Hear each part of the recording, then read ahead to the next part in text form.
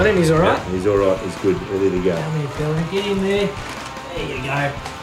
Today I'm going to school, but not for maths or science. I'm actually going with one of the teachers, Richard. Now you're a you're a different kind of teacher. Now what are you all about? All right. Well, ocean life education is all about taking live marine animals into the schools, primary schools, preschools, daycare centres, letting the kids interact with them, see why they uh, feel and look the way they do, find out what their job is in the environment, and by knowing all this, maybe we'll have a better chance of uh, looking after them in the future. Marine life in the school. That is crazy. Are we running to time? Absolutely. We've got about uh, half an hour to go, and we're uh, we'll be right on the Okay. job. Okay, let's keep packing then.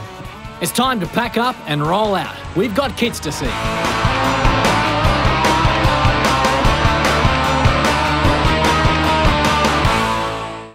I've never been one to say no to a free wildlife lesson, so I'm going to sit in on this one too.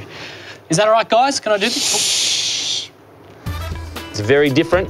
That's why it's in that group of animals called echinoderms. That's why we don't call it a starfish anymore. We call it a sea star. What do we call it? Sea star. All right. Usually, you'd have to go to an aquarium or be in the ocean to see these critters. But with Richard, you never know what's coming out next. I wonder if he has an elephant seal in one of those containers. So they used the shell of an animal like a mollusk, like a snail that's died and gone away, to poke that soft tail up inside to protect it. And then they lift their body up inside there and walk around using that shell as a new home.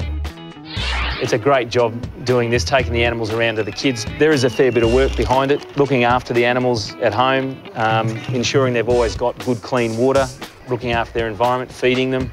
So uh, there is a, a fair bit of background work to do, but, um, but the rewards at the end are worth it. When he wants to grow, he's got to get out of that exoskeleton. There will crack will happen along down the back of his, along the back of it, along the top surface. He'll climb, climb out backwards, out of that old shell, out of that old skeleton. Richard, what a fun job. Do you enjoy it as much as it seems? Uh, have a ball. It's fantastic. Taking the live animals out to the kids, just seeing them absorb all the information uh, and them having fun, great stuff. Yeah. Now, what do you hope that the kids take home from it? Obviously, not the animals. No, no. Well, the, the fact that they learn about the animals, they understand why they live where they live and what their role is in the environment, they're taking that home. They're the ones that understand uh, what their job is. They are the future of looking after our environment. Great. Well, I enjoyed the presentation. I'm going to find out what the kids thought. All right. Um, I like the sea cucumbers because they were all squishy. Yeah? slimy. Yeah. Did you like having a pat? Yeah. Now, what about you? Did you pick up any important messages? Oh, not to throw your rubbish in the water because turtles can eat it and they die. Big time, big time, very important. And what about you? What did you learn today? Um, well, like when the sea cucumbers, when they eat the sand, um, they like, they comes out the other end. Yeah, it was kind of gross, wasn't it? Yeah. Okay. So out of 10, what would you give the presentation? Ten. Ten. Awesome.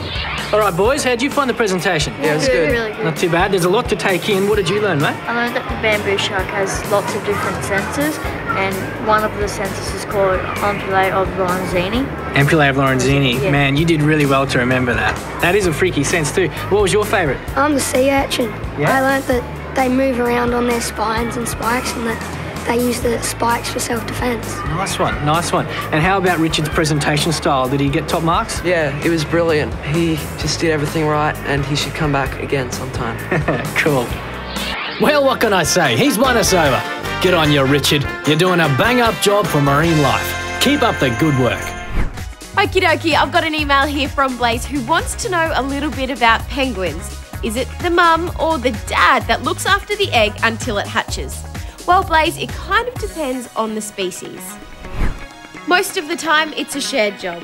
Once a mother has laid the egg, she heads to the ocean for food, while in the meantime, the dad incubates the egg between his legs. Then, just before the egg hatches, the mother returns and relieves the male so he can go for a feed.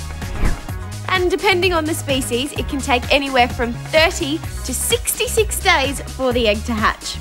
Make sure you stick around, guys. After the break, plenty more TW coming your way.